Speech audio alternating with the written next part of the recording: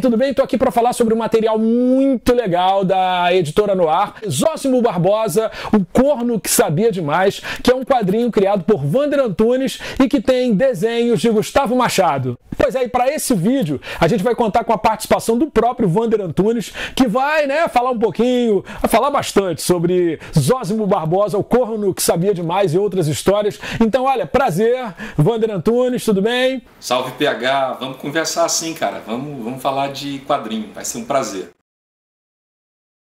Pois é, como eu falei no começo, nesse vídeo só vai dar material da editora no ar. Agora eu vou falar com o autor desse livro, vou até pegar aqui esta maravilha, é, Baú de Gibis, Memórias dos Quadrinhos no Brasil. Você tem que ter isso na sua coleção, você tem que é, ler, porque é um material que conta né, a trajetória dos quadrinhos no Brasil, com muitas fotos. O Marcos Ramone, o autor, ele fala de quadrinhos nacionais, fala de quadrinhos estrangeiros. Cara, é um material imprescindível para colecionadores e amantes do gênero. Tá tudo lá: Faroeste, Tex, Disney, terror, editora Block, super-heróis.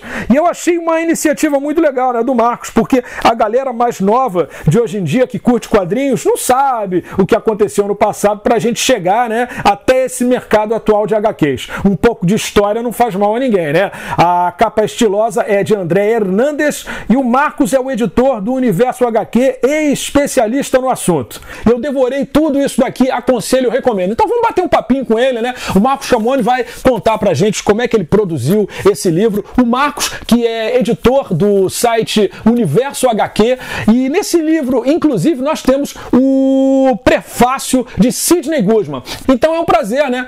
Tá falando com você, Marcos, que é editor do Universo HQ e tá lançando este material aqui pela editora no ar. E aí, tudo bem? Oi, PH. Oi, pessoal. Prazer estar aqui. E, e, a gente sabe que boa parte do material desse livro foi publicado no Universo HQ. Mas como foi, né? Reescrever é, parte disso tudo e ainda acrescentar algumas informações? Olha, foi, foi uma experiência gratificante, porque essas, essas, essas, uh, esses artigos que eu havia escrito já há um bom tempo, eu fui mais a fundo neles, busquei mais informações, busquei outras curiosidades, entrando em contato com artistas, com, com editores, com pesquisadores. Isso foi muito bom. Para mim mesmo, é, desencavar aquilo, novas informações sobre aquilo, aquilo tudo que eu já escrevi, já me deu um prazer imenso ter feito antes. Nossa, é uma experiência muito boa. Marcos, queria que você falasse justamente sobre o material inédito que a gente encontra nesse livro. Esse material inédito, ele segue, segue o mesmo tom né, das, outras, das outras matérias. E, na verdade, isso é uma característica minha, que é o, o escrever matérias saudosistas, sempre buscar o, digamos assim, um resgate histórico né, dos quadrinhos do Brasil. Então, o que não falta, na verdade, é tesouro né, para ser resgatado na história dos quadrinhos do Brasil. Então, alguns dos que mais me interessavam, dos que mais é, vinham à minha memória com aquela saudade gostosa.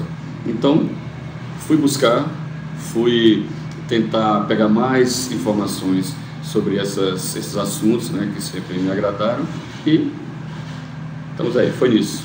Você, né, Marcos, é um saudosista de carteirinha como eu. Queria saber como isso influenciou na produção dessa obra. Nossa, isso foi simplesmente a essência é, dessa obra. Foi o que realmente me fez é, entrar de cabeça, né, de, de, corpo, alma, coração nesse projeto. É, eu recebi o convite do Gonçalo Júnior, o jornalista Gonçalo Júnior, que é, é o proprietário né, e editor né, da Noir. E é lógico, quando ele sugeriu que o livro fosse nesse tom, fosse realmente um resgate histórico, nossa, na mesma hora eu é, tá para mim, é, é, isso mesmo. Eu já havia participado de dois livros anteriormente, como coautor, né, que foi o, o HQ Entrevista, lançado pelo Universo HQ, que compilava nossas melhores entrevistas, né, feitas é, ao longo dos anos, e uma sobre é, a trajetória da, dos quadrinhos dos Trapalhões, entendeu? Foi recentemente, saiu há poucos meses também. E esse é o meu primeiro livro solo. Eu já estou nessa área de jornalismo já desde 2003, então escrevendo matérias para sites como Omelete, Universo HQ, para revistas como a Flashback da Editora Abril, para jornais, é como eu costumo dizer, não sou jornalista de direito, mas de fato. Pois é, e o capítulo 22 de Baú de Gibis é dedicado a quadrinhos que tenham alguma relação com o futebol. E eu li lá, né? Você desencavou muito bem o clássico Dico. Mas eu queria saber, né, de você, por que num país que tem essa tradição toda de futebol, por que os quadrinhos de futebol não são uma tradição? Por que é, isso está em baixa? Olha, na verdade, nunca houve um período de alta dos quadrinhos de futebol. Aqui no Brasil e em qualquer outra parte do mundo.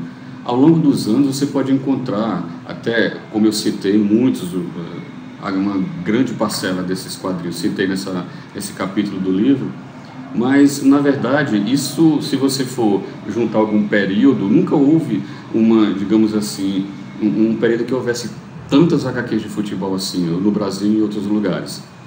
Então, o que acontece bastante é que quando estamos em época de Copa do Mundo, por exemplo, é, há sempre uma, é, lançamentos é, com esse tema, para aproveitar, logicamente, todo o clima. Aqui no Brasil, principalmente. E, tanto é, HQs independentes quanto das grandes editoras também. Quadrinhos Disney, por exemplo, o que não falta em época de Copa do Mundo é, é lançamento de, de coletâneas, de, de quadrinhos Disney com o tema futebol. Mas é isso.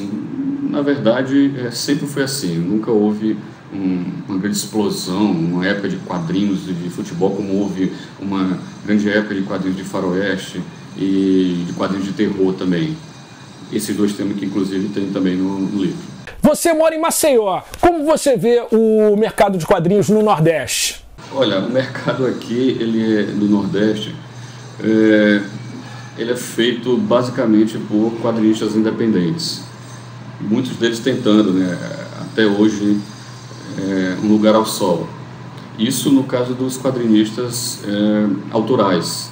Mas é claro que a gente tem exemplos aqui de grandes é, desenhistas, por exemplo, que estão fazendo sucesso é, no exterior, nos quadrinhos da marca DC. E o maior exemplo deles é o Mike Deodato. E nos agradecimentos desse livro, você cita seus pais. Como é que foi a influência deles no resultado final dessa obra? Olha, foi fundamental. É, minha mãe, apesar de não curtir quadrinhos, ela nunca deixou de incentivar eh, esse meu gosto, né? sempre comprando gibis para mim. Meu pai, é, é, na verdade, foi o principal incentivador porque ele, ele é fã de quadrinhos. Foi graças a ele que eu conheci muitos personagens clássicos como Fantasma, Asterix e sempre ele me deu esse exemplo. Né? Sempre eu, eu pegava lendo quadrinhos, ele comprava para mim. E o, o, interessante disso tudo é que antes era ele que provia o meu gosto de quadrinhos. Hoje, como sou eu que compro, coleciono tudo, aí acabou virando o contrário. É ele que lê o que eu compro. Cara, adorei, né? Nesse livro você citando séries da Block antigas, né? Quadrinhos gibis maravilhosos como O Homem de 6 milhões de dólares, O Planeta dos Macacos. Você acha que esse material é, ainda dá para ser publicado no Brasil? Teria uma boa receptividade? É, seria um nicho muito pequeno mesmo para saudosistas as novas gerações que não têm nem ideia do que foi esse seriado O Homem de 6 milhões de dólares. E até o Planeta dos Macacos, mesmo porque o que era apresentado nesses quadrinhos é, do, Planeta dos Macacos, ele não tem nada a ver com o que a gente vê nesses filmes né, recentemente é, lançados há, há, pouco tempo, né, dessa nova fase né, do Planeta dos Macacos no cinema. Então eu acho que não, que realmente não, não teria é, um sucesso digamos assim, comercial de público. Pois aí eu vi nesse livro você falando sobre Tex, sobre alguma coisa de quadrinho europeu. Vi até uma foto lá é, que tem um colecionável do Obelix, tem um colecionável do Luke Luke. Vi também uma foto de álbuns do Um Papá, mas eu senti falta sim de uma sessão mais específica dedicada ao quadrinho europeu. Você acha que a gente pode é, esperar que isso venha acontecer numa edição futura desse livro aqui? Claro, claro. Na verdade há uma, uma vontade né, de que saia um baú de gibis 2. E na verdade muita coisa faltou, a gente pode dizer isso. Mas havia toda a limitação de, de páginas e, e, e, outros quesitos aí que a gente teve que levar em conta.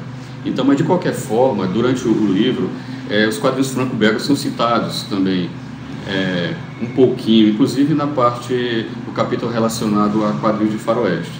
Agora pode ter certeza sim que os quadrinhos franco-belgas, né, que são algumas das minhas grandes paixões, eles vão estar sim em uma futura uma futura continuação desse livro.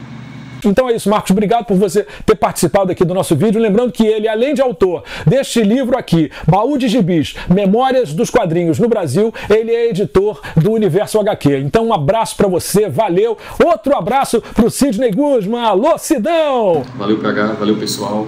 E ó, eu vou dizer uma coisa a vocês, eu garanto. Leitura boa, leitura obrigatória para quem é fã de quadrinhos, para quem é saudosista e para as novas gerações também, claro, que querem conhecer um pouco, né? de tudo que aconteceu e que continua acontecendo no mercado de quadrinhos do Brasil. Pode apostar. Então vamos encerrando este vídeo muito bacana em que tivemos duas feras dos quadrinhos, o Marcos Ramone e o Vander Antunes, que no começo falou sobre Zósimo Barbosa, o corno que sabia demais e outras histórias. Dois lançamentos da editora no ar. Até a próxima, até o próximo vídeo. Valeu, galera!